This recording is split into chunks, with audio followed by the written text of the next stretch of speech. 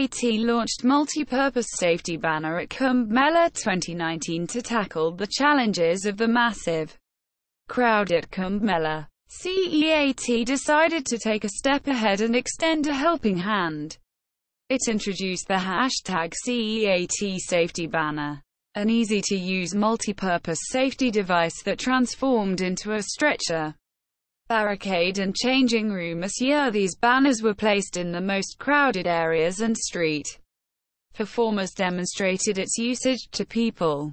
Maruti Suzuki stops producing Gypsy after 34 years Maruti Suzuki is stopping production of its iconic Gypsy off-roader that was introduced in India in 1985.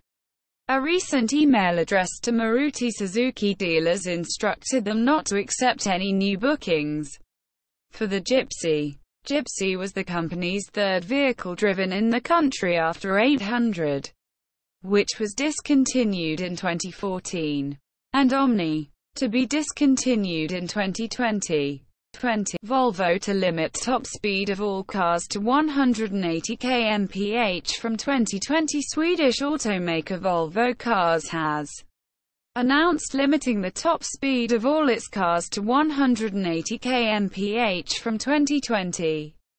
This comes under Volvo's aim for no casualties or serious injuries in a new Volvo car by 2020.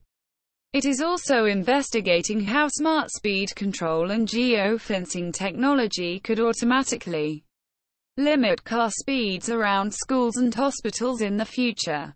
Mahindra-owned Pininfarina unveils all-electric Battista hypercar Mahindra Group-owned Italian car designer Pininfarina unveiled all-electric Battista hypercar at the Geneva Motor Show which goes from 0 to 100 kmph in under 2 seconds.